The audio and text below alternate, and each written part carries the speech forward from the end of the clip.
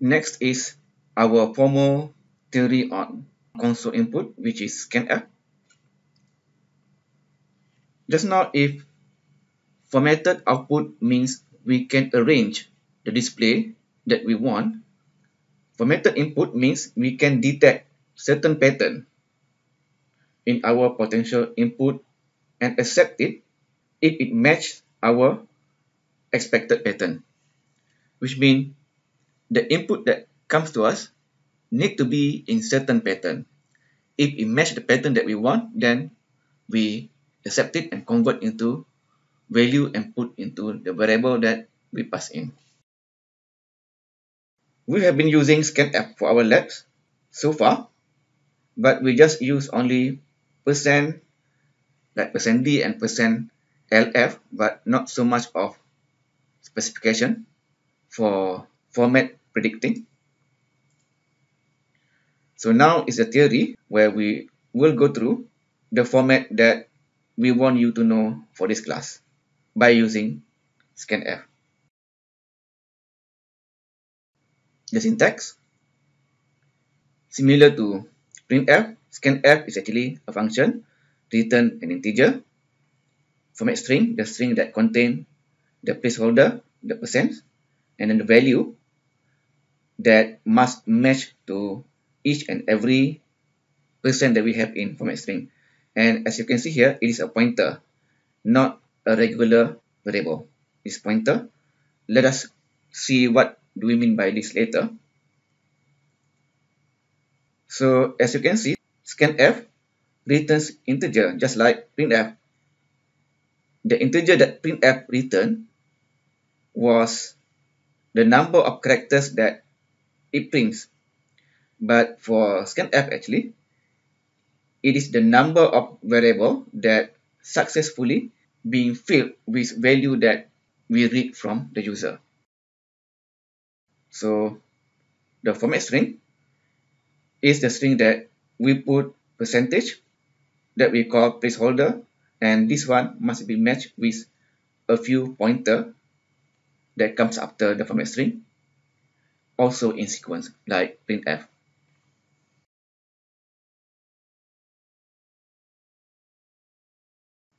Next, let us look at the syntax for the format string in scanf. So just like printf, there is a format string in scanf which also has its own sub-language to define the format that scanf can detect. You can Google for that also. We can Google now with a similar keyword like pin app is now, scanf reference. Then we go to the page from the same portal, c++.com.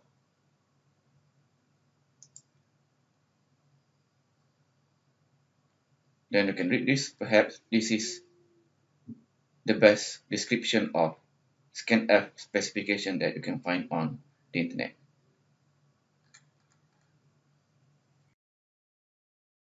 For our scope, on top of what you may have known already the percent and the specifier that you have been using uh, the percent %d or percent %f. The optional one that we want you to know is the length. So the one we put in square bracket, the length, is actually optional. Then let us look at the specifiers and also the optional one just now. To read integer, you put percent %d you have known already. You want to read octal number, percent %o. You want to read string, percent %s. Later we will see. And to read a float data, you put percent %f. Percent %e is to read scientific notation floating point number. So as you can see, if percent %f is for float, then how do we read for double variable is here in the length specifier.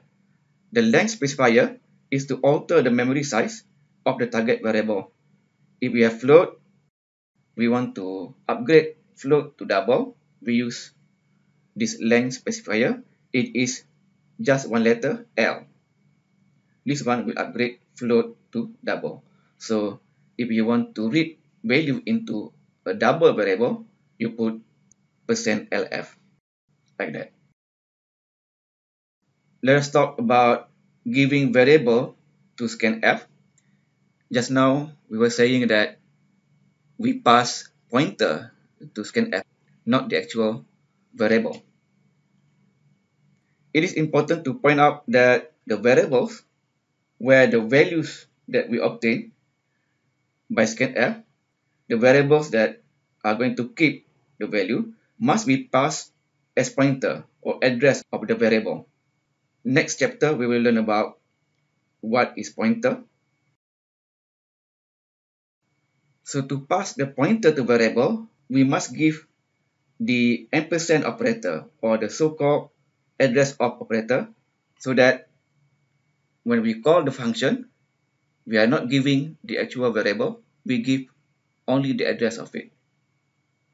So let's say we have declared an integer a, we want to give value to a using scanf, we put ampersand a to be matched with the percent %d in the format string. So this is the address of operator. So in this case, it is address of a. some examples. We declare dd as integer. Want to give value to dd using scanf, we put percent %d and percent %dd. To give value to double value, double dd and percent %dd, you match with percent %lf in the format specification. And to read a string, if you want to use scanf to read a string, you first need to define a C string, which is only array of character. So how do you declare an array? The variable name followed by square bracket, giving the number of element. Let's say in this case is 50. And then you put the data type of char. So this is an array of character with 50 element. So if you want to use scanf, then you put scanf and then the format string is %s and then you just give the variable name. No need for ampersand if it is a string. The reason is this thing is identical to the address of the variable at index 0. So it is wrong to give ampersand in this case because it is already ampersand there. If we put one more ampersand here, it will be pointer to pointer. And after performing this scanf, you need to convert the C string, this one, to become a C++ string object by just assigning the value to that object that we want to use.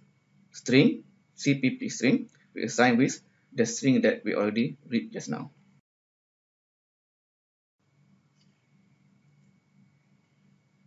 There is a note about using scanf in Visual Studio. To use scanf in Visual Studio, we need to suppress the deprecation error by using this directive.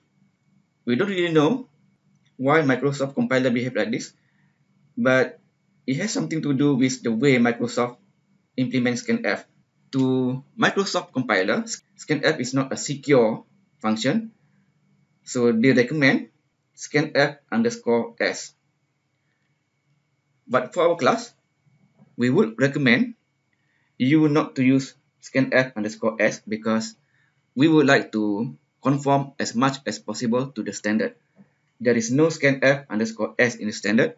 And if you use scanf underscore s in your work in this class, it will work with Visual Studio, but if you try to compile using other compiler, non Microsoft compiler, you will get error.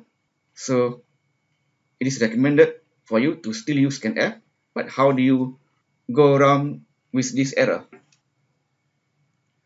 What you need to do is to issue a directive before you include stdio.h. This directive underscore crt underscore secure underscore no underscore deprecate. It is a define do this before you include stdio because scanf is defined in stdio, so you need to issue this define before the compiler see scanf in stdio.